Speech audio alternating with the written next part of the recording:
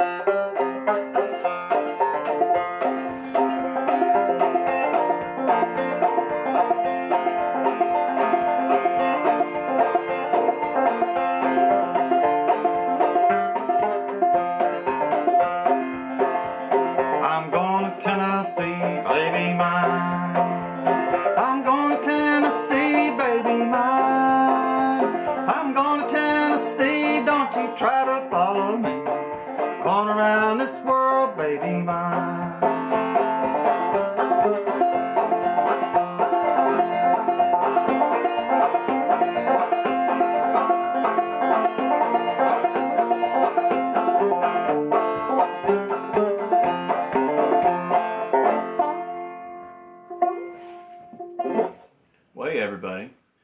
Q&A time again. I got a couple good ones I thought I'd respond to with y'all. Um, first off, we got a question about uh, infamous neck angle issue in mountain banjos.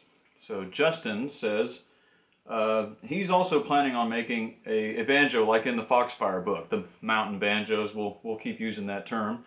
That seems to be appropriate. And I am wondering about neck angle. It doesn't seem like putting a slight angle on the neck where it meets the body is part of the design. Is this true, and if so, how does it affect the playability of the instrument? Many thanks for all your advice and insights. All right, thank you for the question, Justin. I knew I'd have to, people have been asking me this off and on, and I, of course, wondered it myself, and I had to figure it out for myself because I didn't really find a satisfactory answer uh, on the internet or from people I spoke to uh, other banjo makers that I asked how to achieve that, the back angle. Uh, well, first let's define, like for people who may not know what the hell we're talking about.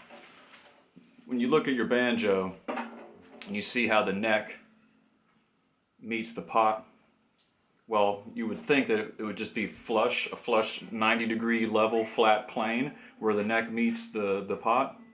But that's not true on a banjo that's properly set up. You can see mine is, should be, um, that the neck actually comes in at a slight angle to the pot. See the pot, I'm, I'm holding the pot at 90 degrees and you'll see the neck is slightly tilted down like this.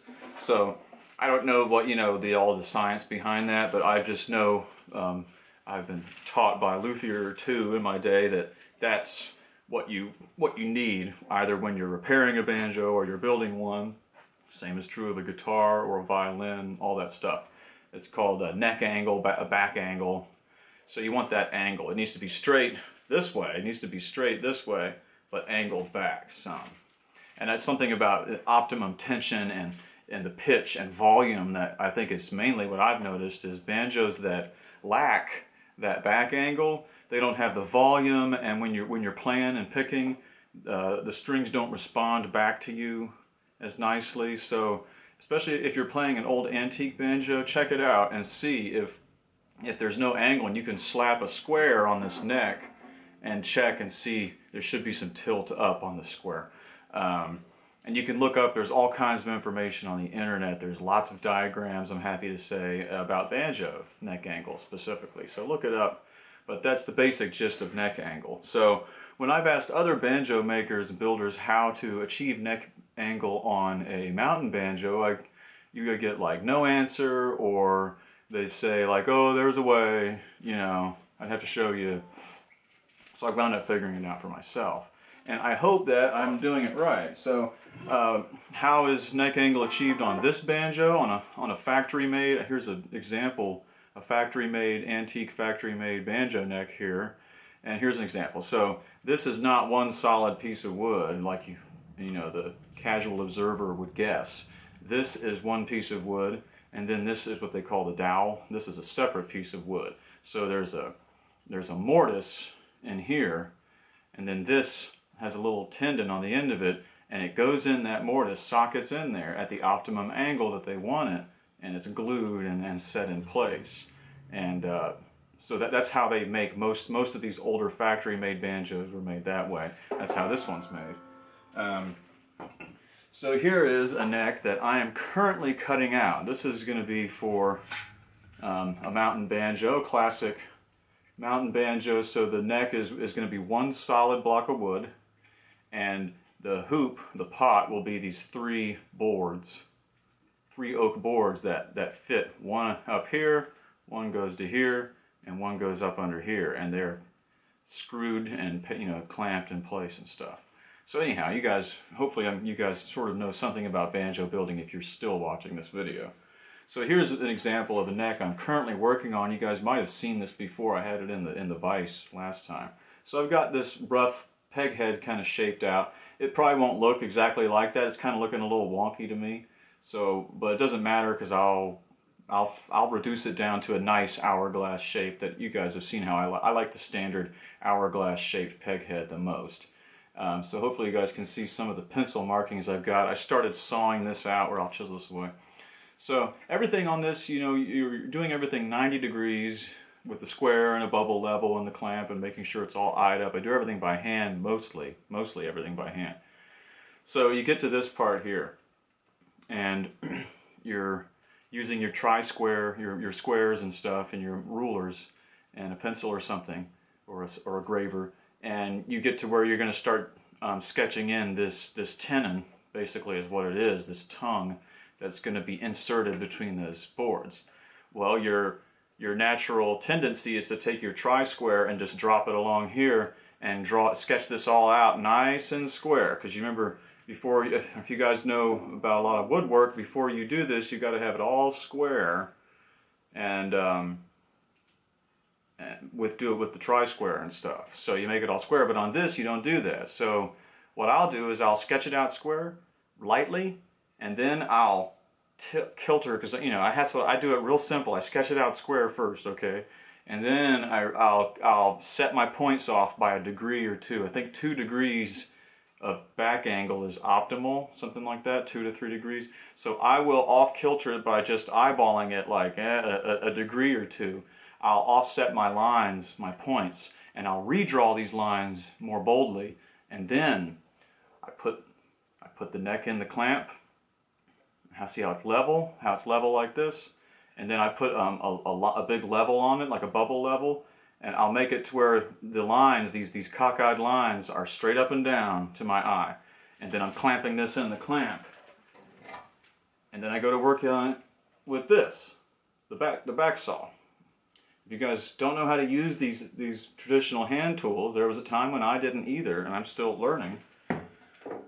Um, if you don't have a person to learn from, like your dad, your grandpa, whatever, uh, it's all over the internet now. Look up traditional handwork tools.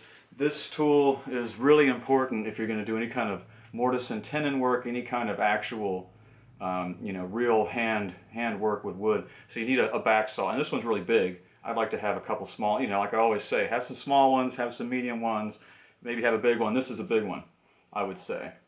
Um, but I, it works great for cutting the, um, the, the tenon for the mountain banjo neck. So, I'm sorry guys, I'm stuffered up. But I hope that explains your question, Justin. If you have any, if that didn't, Justin, comment back. Let's keep talking about it. That's a complex thing. I mean, I can walk you guys through every step of the, every minute step if you want. I just don't want to bore you to death, and I'm trying to make this for as wide an audience as possible, you know. But uh, holler back at me, Justin. Let me know what you think of that response. I have one more quick question that I'll throw in. So this is from Will.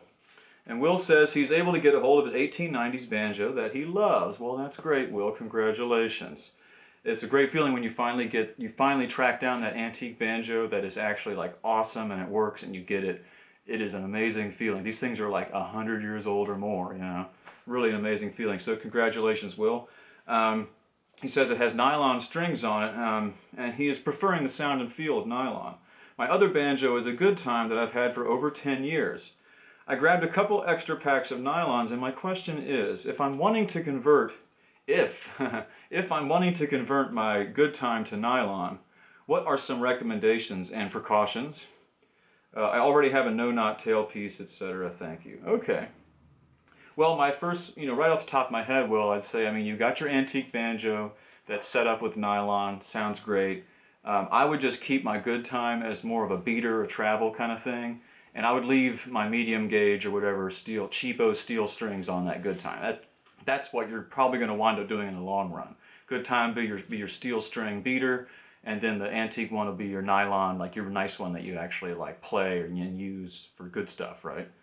Uh, but so if you don't want to do that, if you really want nylon strings on your Goodtime, the what's going to happen is at, at the nut, you know, the Goodtime is got these little narrow, probably, I'm assuming, has these little narrow notches um, in uh, slots, nut slots in the nut for your strings that are designed for steel strings. So you're, you might, you know, what I would do is I would take that nut out of there and, and make a new nut, lay it in there and cut new, new knot, new slots. Uh, and get the specific width saws from a luthier supply company like Stewart, Stewart Mac or whatever, and get the specific width saws that you want to match or close to match those nylon strings. It's gonna the nylons are wider than steel strings is what I'm trying to tell you. So they're not gonna they may not lay in your in your nut very well or your bridge. That's the other thing. So you will need um, what I wound up doing was buying unslotted bridges by the boatload and just messing with them and, and slotting them myself.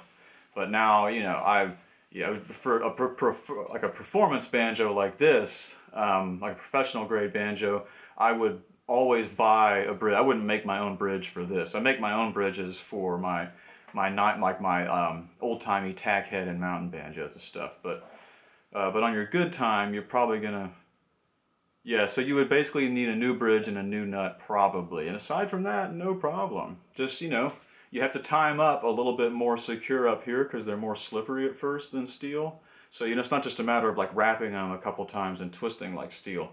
Um, with nylons, you have to actually like knot them or twist them over themselves a couple times and get lots of tension on it.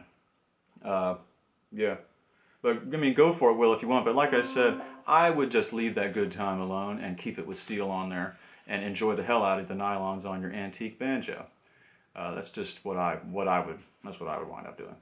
Uh, but yeah, I'm glad. That's great that you got uh, that and you got into nylons. That's cool. And uh, thanks for your question. And I'm gonna wrap this up. We're getting kind of long, and I'll talk to you guys later. Thanks for watching.